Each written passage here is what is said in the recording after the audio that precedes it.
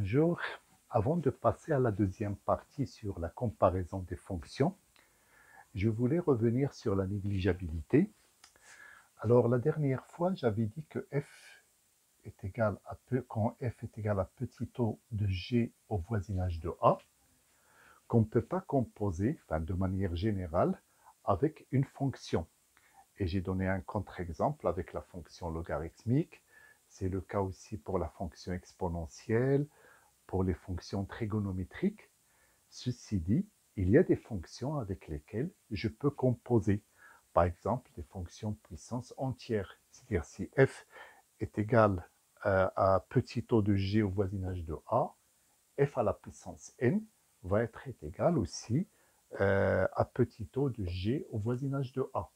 Donc, euh, je peux dire que quel que soit n appartenant à n étoile, si alors euh, f à la puissance n va être égal au voisinage de a à petit o de g à la puissance n, et ça vient de la propriété de la multiplication.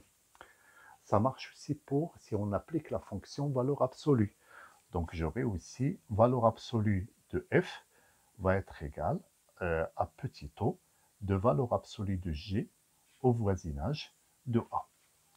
Alors ça marche pour certaines fonctions comme ça, puissance, valeur absolue. Quand les deux fonctions sont positives, la racine carrée, ainsi de suite. Par contre, tout ce qui est fonction logarithmique, tout ce qui, est fonction exponentielle, tout ce qui est fonction trigonométrique, eh bien, en général, ça ne fonctionne pas. Alors, autre euh, remarque que je voulais vous dire, et ça, on va le voir euh, plus, on va, on on va voir l'application plus dans la partie qui va suivre, c'est que si f égale à petit o de g au voisinage de a, alors, quel que soit lambda appartenant, par contre, attention, à R étoile, il ne faut pas que lambda soit nul, eh bien, on aura f égale à petit o de lambda g au voisinage de A. Et euh, l'originalité de cette propriété, c'est que f, si f est négligeable devant g, et même si vous multipliez par g par un nombre réel non nul très très très petit, par exemple 10 à la puissance moins 15 ou 10 puissance moins 6, enfin il faut qu'il soit non nul, et bien tout simplement f va rester toujours négligeable devant cette nouvelle fonction qui est lambda g. Voilà pour ces petits retours sur la partie précédente. Alors aujourd'hui, on va voir la notion d'équivalence de fonctions. Donc on a déjà vu un petit peu la notion d'équivalence pour les suites. Donc pour les suites, je rappelle que ça fonctionne toujours pour n qui tend vers plus l'infini, alors que pour les fonctions, ça marche pour a qui peut être un nombre réel ou bien qui peut être moins l'infini plus l'infini. Et là, je prends deux fonctions f et g qui sont définies au voisinage de a. Et je mets la petite étoile. Ça veut dire quoi? Ça veut dire que f et g sont définis sur v, VA, mais peut-être c'est pas nécessaire qu'ils soient définis en A. Il y a des fonctions qui sont définies en A et des fonctions qui ne sont pas définies en A. Mais à part A, ils sont définis sur tout le voisinage, sur tous les autres points du voisinage de A. Alors, on va dire que la fonction f est équivalente à la fonction g en A, ou bien au voisinage de A.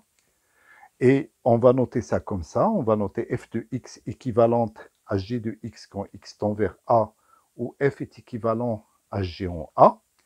Si, alors ça va être une, euh, une définition qui a pas mal de points communs avec la définition de la négligibilité, avec bien sûr quelques différences. Et donc là, il existe une fonction phi définie sur voisinage de A, alors toujours avec la petite nuance, sauf peut-être en A, avec quel que soit x appartenant à VA, voilà la relation qui va relier f de x et j de x. f de x va être égal à phi de x fois j de x. Et en plus, la limite, lorsque x tend vers A, de phi de x est égal à 1. Donc voilà, on retrouve à peu près la même définition qu'on avait donnée pour les suites équivalentes. Sauf que pour les suites équivalentes, c'était juste lorsque n tend vers plus l'infini, alors que là, on est au voisinage d'un point qui peut être un réel ou bien qui peut être moins l'infini ou plus l'infini. Voilà. Alors, comme ce qu'on avait fait pour les suites, ce n'est pas toujours pratique d'utiliser ce critère pour montrer l'équivalence de deux fonctions. Donc, on va, on va euh, utiliser un critère plus pratique et qui fonctionne presque toujours, enfin tout le temps, presque tout le temps.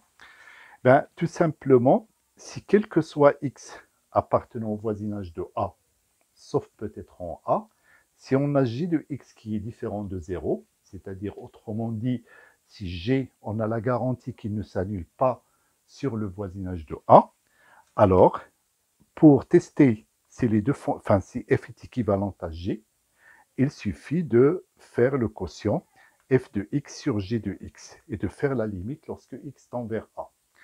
Et si on trouve 1, les deux fonctions sont équivalentes. Enfin, je vais dire plutôt f va être équivalent à g. Et puis si on ne trouve pas 1, euh, f ne sera pas équivalent à g. Alors, euh, avant de donner, de donner, un exemple, et comme j'ai parlé de fonctions, au début j'ai dit f équivalent à g, et puis ensuite j'ai dit que f et g sont équivalentes, je vais tout de suite commencer par cette propriété. Alors, vous avez toutes ces fonctions qui sont définies sur le voisinage de A, sauf peut-être en A. Et la première propriété qui s'appelle la propriété de symétrie, donc symétrie, nous dit tout simplement que si f est équivalente en A à G, eh bien ça c'est équivalent à dire que G va être équivalente à f en A. Tout simplement, comme cette fonction-là, sa limite, il est, euh, il est égal à 1, et bien tout simplement, d'après les propriétés des limites, il existe un voisinage de A sur lequel la fonction phi ne s'annule pas, et donc on aura g de x est égal à 1 sur phi de x fois f de x. Et donc 1 sur phi de x, sa limite c'est 1, et donc ça montre que g est équivalent à son tour à f. Et donc dans ce cas, euh, dès qu'on trouve que f est équivalent à g, eh bien, on sait que réciproquement, G va être aussi équivalente à F. Et on dit dans ce cas que F et G sont équivalentes. Sont équivalentes. Voilà. Alors, euh, avant de donner un exemple, bon, je continue avec les propriétés qu'on a déjà vues avec les suites. Et on, a vu certaines comme ça avec la négligibilité. Donc, d'abord la transitivité. Si f est équivalent à g, et g a son tour équivalent à h, donc f est équivalent à h. Après, si vous avez deux équivalences comme ça, f1 qui est équivalent à g1 et f2 qui est équivalent à g2, alors je peux multiplier, enfin entre guillemets, je peux multiplier ces relations d'équivalence entre les fonctions, une euh, membre à membre, c'est-à-dire j'aurai f1 fois f2 qui sera équivalent à a à g1 fois g2.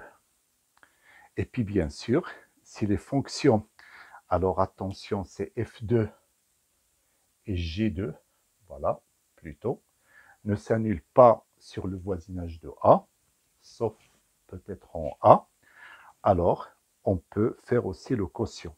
F1 sur F2 sera équivalent à G1 sur G2. Alors bien sûr, comme ça marche pour le produit, ça va marcher aussi pour la puissance. C'est-à-dire f à la puissance n, si f est équivalent à g, f à la puissance n sera équivalent à g à la puissance n. Et puis, ça marche aussi pour euh, la valeur absolue si f est équivalent à g, valeur absolue de f va être équivalent à valeur absolue de g. Et ça marche aussi pour la racine carrée. Quand on applique la racine carrée, ça marche aussi. Par contre, on verra tout à l'heure, enfin je ferai la remarque tout à l'heure avec quelques exemples, eh bien ça ne marche pas pour la somme et ça ne marche pas par l'application d'une autre fonction autre que la fonction puissance entière ou bien valeur absolue ou racine carrée ou inverse, etc. Voilà. Alors je donne tout de suite un exemple simple. Alors vous avez une fonction polynôme p qui a x associe p de x avec, alors je prends d'abord n et m appartenant à n2 avec n strictement inférieur à m. Vous allez comprendre pourquoi. Donc, avec p de x égale la somme de k égale n jusqu'à m de ak xk. Et là, la particularité de ce polynôme, c'est que son degré est m. Donc, comme le degré de m, et m, ça veut dire avec am différent de 0. Et puis, pourquoi j'ai démarré à n et non pas de 0 n, ça peut être égal à 0. Et eh bien, tout simplement pour dire que euh, quand j'écris le polynôme, je vais commencer par euh, le monôme qui est, enfin, le premier monôme non nul que je vais trouver. Donc, c'est pour ça que je dis et à n est différent de 0. Alors, des fois, c'est le, le monôme constant, des fois c'est le monôme de degré 1, des fois c'est le monôme de degré 2 qui va être le premier monôme non nul qu'on va trouver dans l'expression du polynôme. Voilà. Et donc quand vous avez ça, eh bien tout simplement p de x va être équivalent au voisinage, cette fois-ci de plus l'infini, il va être équivalent au monôme qui a le plus haut degré, c'est-à-dire à m x à la puissance m. Et puis, p de x va être équivalent en 0 de a au qui a le plus bas degré, c'est-à-dire à n fois x à la puissance n. Alors, je vous laisse le soin de démontrer ce résultat. La démonstration est toute simple. Comme au voisinage de plus l'infini, le polynôme ne s'annule euh, pratiquement pas, enfin au voisinage euh, de plus l'infini, on peut considérer qu'il y a un voisinage de plus l'infini. Alors bien sûr, le polynôme peut avoir des racines, mais on peut prendre un voisinage de plus l'infini qui ne contient pas ces racines-là. Donc on peut considérer que le polynôme ne s'annule pas. Et euh, on peut faire le quotient, et vous verrez que le quotient va tendre effectivement vers 1. Et puis là, vous faites la même chose au voisinage de 0.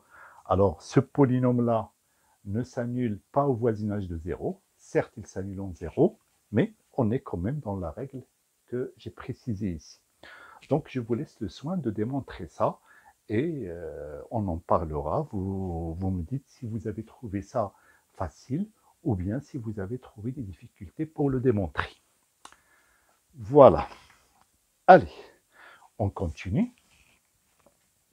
Donc, je vais effacer ça. Alors après, je vais vous donner d'autres exemples d'équivalents usuels. Mais déjà, celui-là, vous pouvez l'utiliser au quotidien. Par exemple, quand vous calculez la limite euh, en plus l'infini ou, en zéro, surtout en plus l'infini ou au moins l'infini, euh, d'une expression euh, rationnelle avec un polynôme au numérateur et un polynôme au dénominateur. Voilà. Ensuite, comme pour la, négligeabilité, vous avez la propriété de la substitution, c'est-à-dire vous avez un alpha qui peut être un réel ou bien qui peut être moins l'infini ou bien plus l'infini. Vous avez une fonction u qui est définie sur v alpha et qui a à valeur dans v de a. Alors bien sûr, euh, elle est définie au voisinage de alpha et puis en alpha, elle peut être définie ou pas définie, ça ne pose aucun problème. Le plus important, c'est que la limite, lorsque t tend vers alpha de u de t, doit être égale à a. Alors, si vous avez ça, quand f de x est équivalent en a à g de x, alors je peux remplacer, je peux substituer x par u de t. Et dire, dans ce cas, c'est comme, comme ce que j'avais dit, c'est euh, une sorte de changement de variable. Donc ça va être f de u de t qui va être équivalente en alpha cette fois-ci de g de u de t. Alors je vais vous donner un exemple simple exemple, on sait que euh, sinus x est équivalent en 0 à x. Donc ça, ça fait partie des équivalents usuels que, vous avez déjà manipulés et qu'on va encore manipuler encore plus avec euh, ce nouveau chapitre. Et du coup, je pose euh, soit u de, par exemple, moins 1, 1. Euh, pardon. Non, c'est pas ça. Soit u de 0 plus l'infini vers r, qui a x associé, enfin, qui a t associé 1 sur t plus 1. Voilà. Et donc, cette fois-ci, le t, c'est le alpha, c'est plus l'infini et le A ce 0. Donc, euh, comme limite, lorsque t tend vers plus l'infini de 1 sur t plus 1 est égal à 0, et eh bien tout simplement dans cette relation d'équivalence, je peux substituer, je peux remplacer x par 1 sur t plus 1. Alors, euh, sinus de 1 sur t plus 1 va être équivalent. Mais attention, cette fois-ci, ça sera plus en 0. Mais ça sera, comme j'ai effectué un changement de variable, ça sera en plus l'infini. Donc de 1 sur t plus 1. Alors là, dans cette situation particulière, on peut encore dire mieux, puisque, or, 1 sur t plus 1 est équivalent à plus l'infini à 1 sur t. Voilà, puisque là j'ai un polynôme. Et donc un polynôme est équivalent au monôme le, qui a le plus haut degré. Donc là c'est t. Et j'applique la, propriété de l'inverse, donc ça marche. Donc, et après, par transitivité, c'est-à-dire j'utilise cette propriété-là. Donc sinus de 1 sur t plus 1 est équivalent en plus l'infini à 1 sur t. Voilà un exemple de la substitution. Voilà. Et comme cas particulier, et ça on l'a beaucoup utilisé quand on a fait le travail sur euh, les suites équivalentes, ben, tout simplement lorsque vous avez une suite réelle qui a pour limite a lorsque n tend vers plus l'infini, c'est-à-dire limite lorsque n tend vers plus l'infini du un est égal à A. Si vous avez f qui est équivalent à g au voisinage de A, donc normalement f de x, g de x, et eh bien tout simplement quand je vais remplacer x par un, et eh bien f de un sera équivalente à g de un. Et là, vous avez remarqué que je n'ai rien mis. J'aurais pu mettre n tend vers plus l'infini, mais j'ai rien mis pour une raison simple, c'est lorsqu'on parle de suite équivalente, c'est implicite, c'est évident que c'est lorsque n tend vers plus l'infini. Alors que lorsqu'on parle des fonctions, là, il faut préciser est-ce que c'est au voisinage de 0, est-ce que c'est au voisinage de 1, est-ce que c'est au voisinage de 5, est-ce que c'est au voisinage de plus l'infini, au moins l'infini? Alors que pour les suites, on n'a pas besoin d'apporter cette précision. Voilà.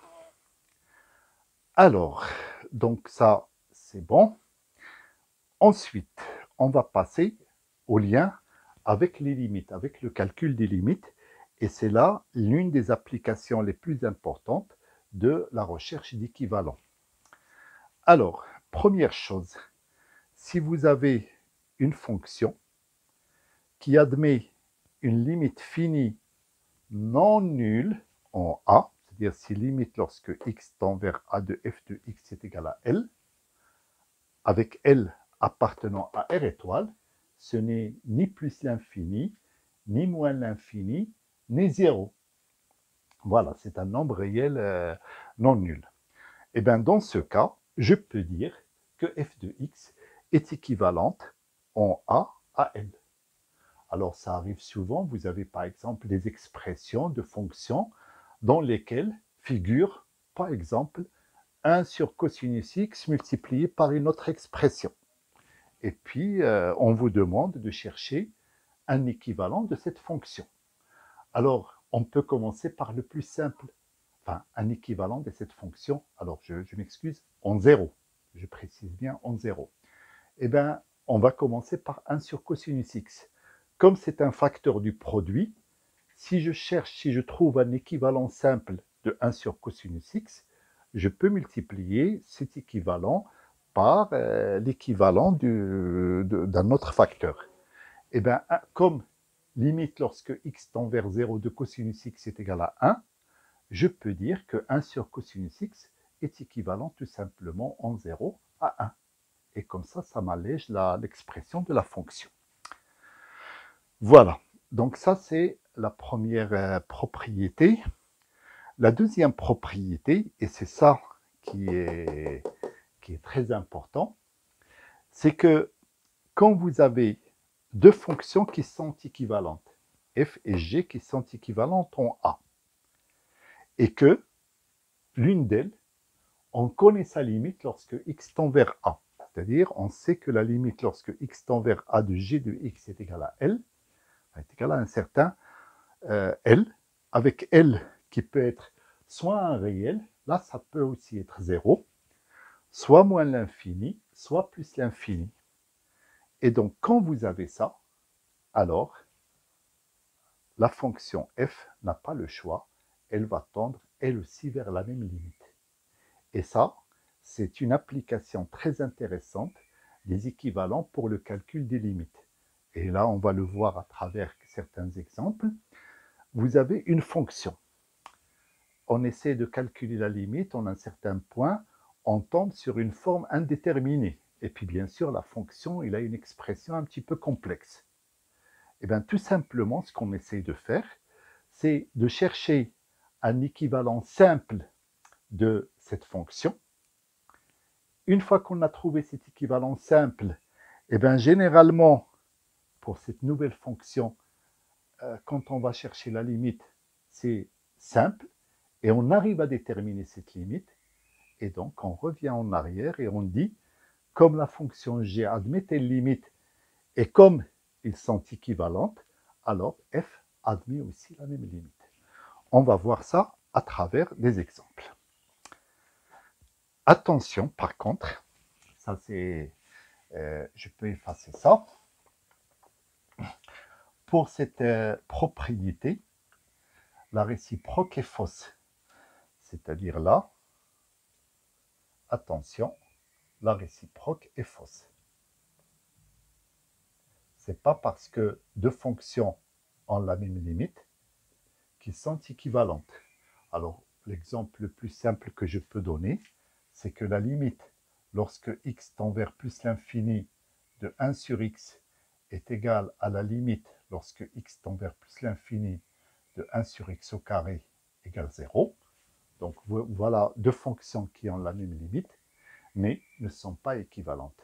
Mais, euh, mais 1 sur x, enfin la fonction qui a x associé 1 sur x, et x associe 1 sur x au carré, ne sont pas équivalentes, pas équivalentes,